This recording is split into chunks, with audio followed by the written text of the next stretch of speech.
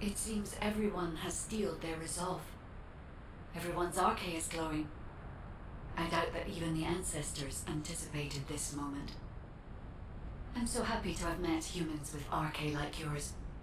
Despite my limitations as an AI, I believe I understand what courage is now. All right.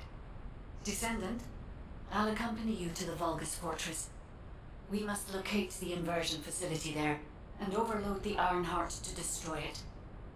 I know we can do this, Descendant. I will be with you the entire way.